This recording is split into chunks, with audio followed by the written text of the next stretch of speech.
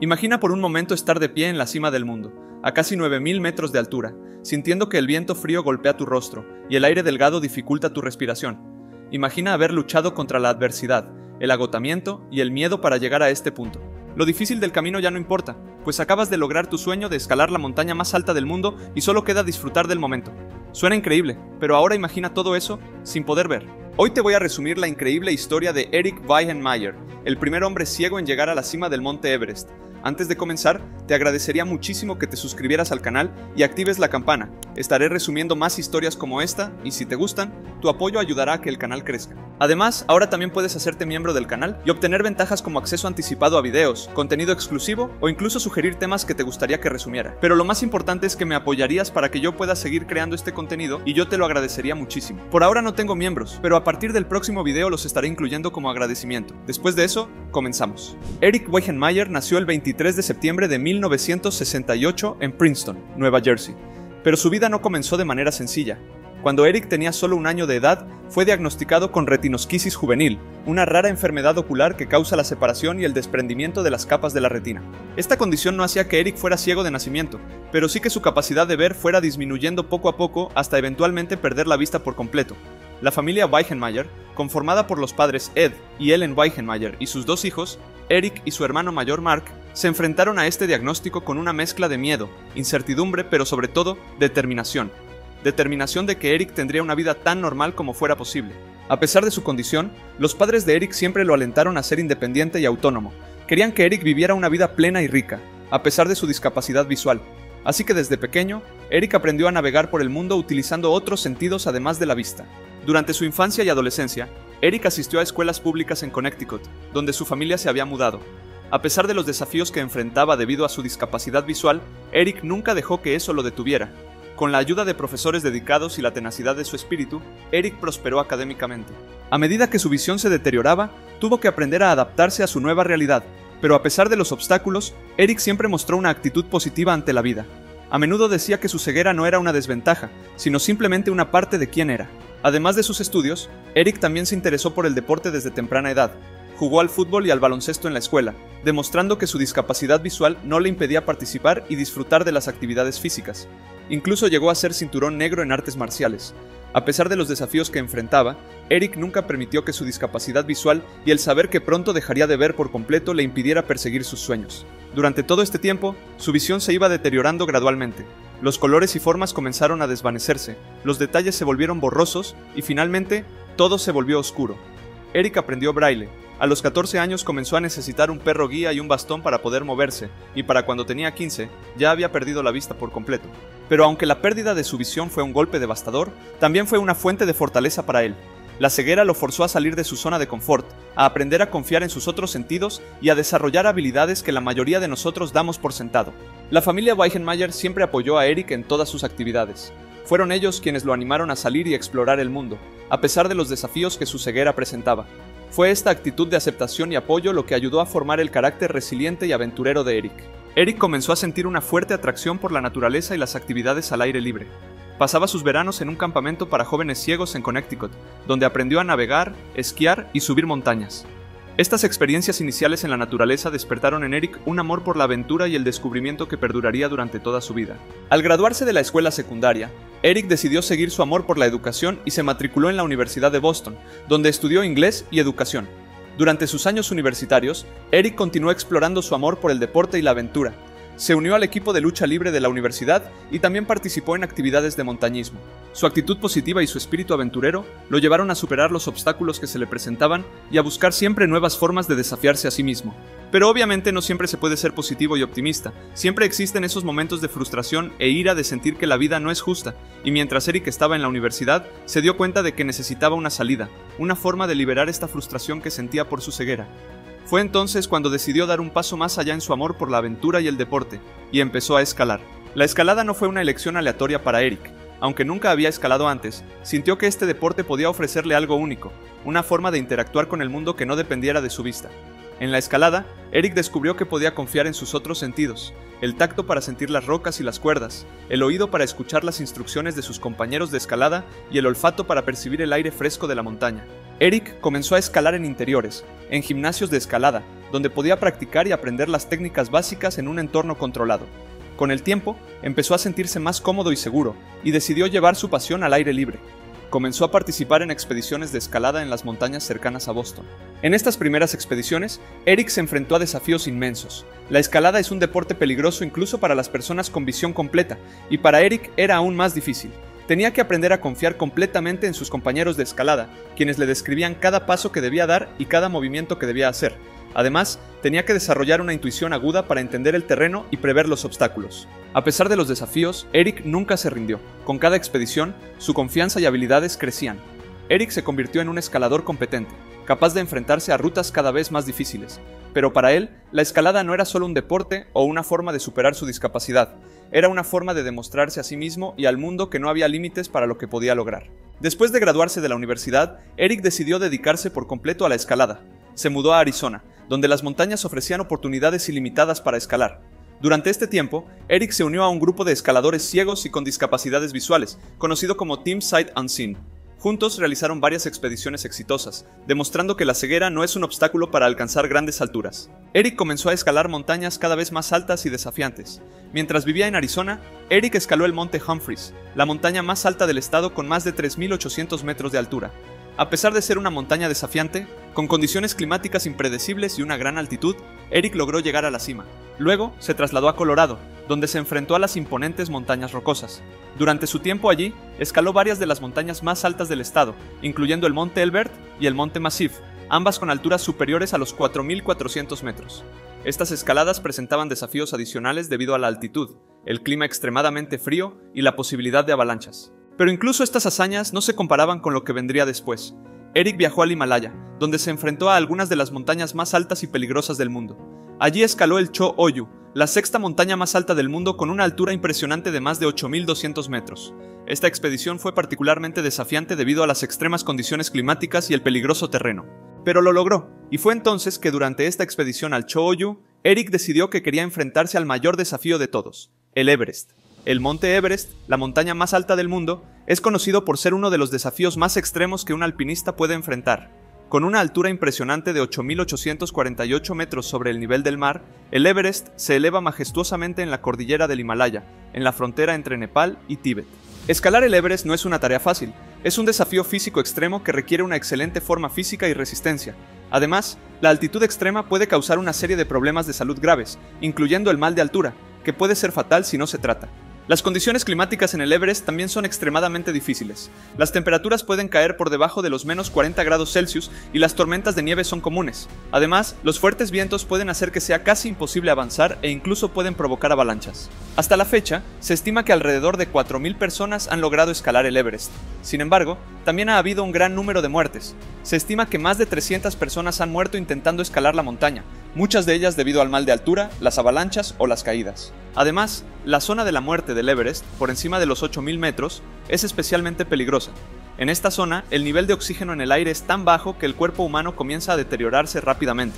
Incluso con oxígeno suplementario, los escaladores pueden experimentar confusión mental, pérdida de coordinación y otras dificultades físicas. El Everest es un desafío monumental, incluso para los alpinistas más experimentados que cuentan con todos sus sentidos. Sin embargo, Eric Weichenmayer decidió que estaba listo para enfrentarse a este desafío. Después de todo, ya había demostrado una y otra vez que podía superar cualquier obstáculo que se le presentara, y fue así como, a la edad de 32 años, decidió comenzar a prepararse para el reto más grande de su vida. Comenzó su preparación para la expedición con un enfoque holístico, cuidando tanto su salud física como mental.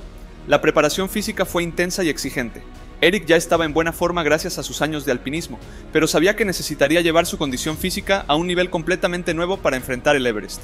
Pasó meses entrenando en Colorado, donde residía, aprovechando las altas altitudes de las montañas locales para acostumbrarse a las condiciones que encontraría en el Everest. Sus entrenamientos diarios incluían largas caminatas con una mochila cargada para simular el peso del equipo que llevaría en la montaña, escalada en roca para mejorar su técnica y resistencia, y sesiones de cardio intensas para aumentar su capacidad pulmonar. Además de su entrenamiento físico, Eric también trabajó con un entrenador de escalada especializado en ciegos para perfeccionar sus habilidades de navegación y adaptarse a las demandas únicas de escalar sin la vista. Aprendió a usar sus otros sentidos para moverse por el terreno, confiando en sus manos y pies para encontrar agarres seguros y utilizando sonidos como el crujido de la nieve bajo sus pies o el eco de su voz contra las paredes de roca para orientarse. Pero Eric sabía que la preparación física no era suficiente. La escalada es tanto un desafío mental como físico, especialmente cuando se trata del Everest. Por eso, también dedicó mucho tiempo a fortalecer su mente. Practicó técnicas de meditación y mindfulness para ayudar a mantener la calma y el enfoque durante los momentos de estrés y miedo en la montaña. También trabajó con un psicólogo deportivo para prepararse para los desafíos emocionales que sabía que enfrentaría, como la soledad, el miedo y la incertidumbre. Además, Eric pasó mucho tiempo estudiando la montaña. Se familiarizó con cada detalle de la ruta que planeaba tomar, aprendiendo sobre los peligros potenciales, las áreas de descanso y las secciones más difíciles. Aunque no podía ver el camino, quería tener una imagen mental lo más clara posible de lo que le esperaba. Todo esto fue un esfuerzo enorme, pero Eric estaba decidido a hacer todo lo necesario para prepararse para el Everest. Sabía que no había garantías, que incluso con toda su preparación, todavía había un riesgo real de fracaso o incluso de muerte, pero también sabía que si no lo intentaba, siempre se preguntaría qué podría haber logrado. Así fue que el 25 de marzo del año 2001, Eric Weichenmayer, de 32 años, aterrizó en Katmandú, Nepal, listo para escalar el Everest. Eric y su equipo, conformado por 12 alpinistas y un equipo de sherpas locales, comenzaron su viaje hacia la montaña más alta del mundo. Desde Katmandú tomaron un vuelo corto hasta Lukla, un pequeño pueblo que sirve como puerta de entrada al Everest. Desde allí, comenzaron una caminata de 10 días hasta el campamento base del Everest. Durante este viaje inicial, Eric tuvo que adaptarse al terreno accidentado y a la disminución del oxígeno en el aire a medida que ganaban altitud, se familiarizó con el uso de su bastón largo para detectar obstáculos en su camino y aprendió a confiar en sus otros sentidos y en su equipo para navegar. Finalmente, llegaron al campamento base del Everest, situado a una altitud de aproximadamente 5.300 metros. Aquí es donde la verdadera escalada comenzaría. Pero antes de que pudieran avanzar, necesitaban aclimatarse para evitar el mal de altura. Pasaron varios días aquí, realizando caminatas cortas durante el día para ayudar a sus cuerpos a adaptarse al cambio de altitud. Después de esta fase de aclimatación, comenzaron su ascenso hacia la cima. La ruta que eligieron fue la del Collado Sur, la misma que Edmund Hillary y Tenzing Norgay habían usado en 1953 para su ascenso. A lo largo de la subida, Eric enfrentó innumerables desafíos. Las pendientes empinadas y el terreno rocoso eran difíciles de navegar, incluso para un alpinista con visión completa. Pero Eric, con la ayuda de su equipo, encontró una forma de superar estos obstáculos. Usaba sus manos para sentir la roca, escuchaba las indicaciones de sus compañeros de equipo y seguía el sonido de sus campanas. El avance fue lento y agotador. Había momentos en los que Eric dudaba de si podría continuar, pero cada vez que sentía que estaba llegando a su límite, se recordaba a sí mismo por qué estaba haciendo esto. Recordaba todas las personas que le habían dicho que no podía hacerlo, todas las veces que había superado obstáculos en su vida, y usaba eso como combustible para seguir adelante. Después de semanas de escalada agotadora, finalmente llegaron al campamento número 4, el último campamento antes de la cumbre. Aquí es donde enfrentarían la etapa más peligrosa de la escalada, la zona de la muerte. La zona de la muerte es una región por encima de los 8.000 metros donde el aire es tan delgado que el cuerpo humano comienza a morir lentamente. Aquí, cada paso es un esfuerzo monumental y el tiempo es esencial, los alpinistas tienen una ventana muy pequeña para llegar a la cumbre y regresar antes de que se agoten sus suministros de oxígeno. Eric y su equipo descansaron en el campamento número 4, preparándose para el empuje final hacia la cumbre. Sabían que lo que vendría sería la parte más dura de su viaje, pero estaban listos. Habían entrenado y se habían preparado para este momento durante meses. El 25 de mayo comenzaron su ascenso final. Con la ayuda de su equipo y su guía Sherpa, Eric navegó por la empinada pendiente y el terreno rocoso. Cada paso era un esfuerzo, pero no se detuvo. A pesar del frío intenso, el agotamiento y la falta de oxígeno, siguió adelante. Y entonces, después de horas de escalada en las condiciones más duras que uno pueda imaginar, sucedió. A las 10 de la mañana, Eric Weichenmayer, un hombre ciego, había alcanzado la cima del monte Everest. El momento fue inolvidable. Estoy en la cima del mundo, dijo Eric, dejando escapar un grito de júbilo que resonó en el silencio de la montaña. Aquellas palabras fueron un testimonio de su increíble hazaña, no solo para él, sino para todas las personas con discapacidades que alguna vez soñaron con superar sus propios límites. Eric describió ese momento como uno de total euforia. A pesar de no poder ver el panorama que se desplegaba ante sus ojos, podía sentir la inmensidad del mundo a su alrededor. La cima del Everest, el punto más alto del planeta, era un lugar donde muy pocos habían tenido el privilegio de estar, y él, un hombre ciego, era uno de ellos. Su compañero de escalada y amigo cercano, P.B. Escaturro, describió el momento con estas palabras. Eric se paró en la cumbre y levantó los brazos al cielo. Sabíamos que había hecho historia. Cada miembro del equipo estaba consciente de la magnitud de lo que acababan de lograr. Pero si ya conoces a Eric después de todo lo que te he contado, entenderás que para él esto no era suficiente. No estaba satisfecho con simplemente haber escalado la montaña más alta del mundo. Necesitaba más. Así que menos de un año después de conquistar el Everest, Eric decidió embarcarse en una nueva aventura, completar los Seven Summits. Los Seven Summits son las montañas más altas de cada uno de los siete continentes. Incluyen el Everest en Asia, el Aconcagua en Sudamérica, el Denali en Norteamérica, el Kilimanjaro en África, el Elbrus en Europa, el Vinson en la Antártida y la pirámide Carstens en Australia. Completar los Seven Summits es considerado uno de los mayores logros en el montañismo. Requiere no solo habilidades físicas y mentales excepcionales, sino también una increíble dedicación y compromiso. Y para Eric, también requería aprender a navegar y escalar en una variedad de terrenos y condiciones diferentes, desde la fría y ventosa Antártida hasta las empinadas rocas de la Concagua. Pero Eric no se dejó intimidar por estos desafíos. Con su espíritu inquebrantable y su increíble determinación, comenzó a entrenar para este nuevo objetivo. Trabajó en mejorar su resistencia y fuerza, aprendió nuevas técnicas de escalada y se preparó mentalmente para los desafíos que sabía que vendrían. Y entonces, en mayo de 2002, Eric Weihenmayer completó su último Seven Summit al escalar la pirámide Carstens en Australia. Con esto, consiguió un logro que solo 150 alpinistas en ese momento podían presumir haber tenido, y se convirtió en el primer hombre ciego en completar los Seven Summits. Tras haber logrado un hito tan monumental, el mundo entero se volcó a celebrar el logro de Eric Weihenmayer. La noticia de que un hombre ciego había escalado el Everest y completado los Seven Summits corrió como pólvora en todo el mundo. Fue portada de revistas y periódicos internacionales, desde el New York Times hasta la revista Time, pasando por National Geographic y Outside Magazine. Los titulares lo decían todo, cada historia contaba su increíble hazaña, alabando su determinación, su valentía y su espíritu inquebrantable. Pero no fueron solo los medios de comunicación quienes se sintieron conmovidos por la historia de Eric. La gente común, desde todas partes del mundo, también se sintió inspirada. En redes sociales, en blogs, en foros de discusión las personas compartían su historia, expresaban su admiración y discutían sobre lo que significaba para la percepción general de las personas con discapacidades. Eric Weihenmayer se convirtió en un símbolo de superación personal. Su historia demostró que las limitaciones físicas no tienen por qué definir lo que una persona puede o no puede hacer. Mostró que con determinación, coraje y una actitud positiva, incluso los obstáculos más grandes pueden ser superados. Su hazaña también tuvo un impacto significativo en la comunidad de personas con discapacidades. Eric se convirtió en un modelo a seguir una fuente de inspiración y esperanza. Demostró que una discapacidad no tiene por qué ser un obstáculo para alcanzar los sueños y metas personales. Como dijo en una entrevista con el New York Times, la ceguera no tiene que definir tu vida, puedes definirla tú mismo.